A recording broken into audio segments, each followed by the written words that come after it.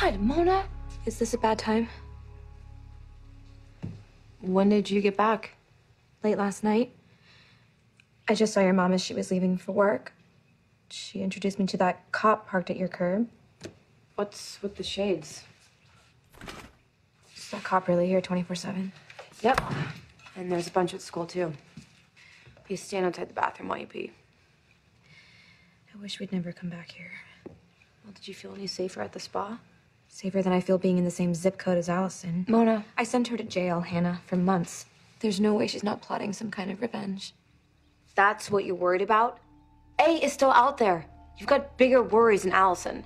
Yeah, I know. When I leave here, I have to go straight to the police station. They might still press charges against me for being dead when I wasn't. Well, that's not a crime. That's just being stupid. No, Han, when there's a full on investigation that costs the taxpayers more than our new sewer system, it's a crime. And I don't think I'll have any cops looking out for me. They're looking for A. We all are. Even more reason for Alison to want to hurt me. Forget Alison. We have to track down anyone who ever had any contact with Charles DiLaurentis. Someone who worked at Radley's got to know something. I'm betting their father. He's no help. Alison is so embarrassed. She only leaves her house nowadays to go to church. Church?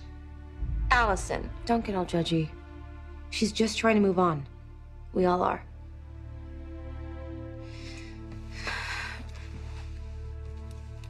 Well, will you at least drop me off at the precinct before school? I, I can't go in there alone.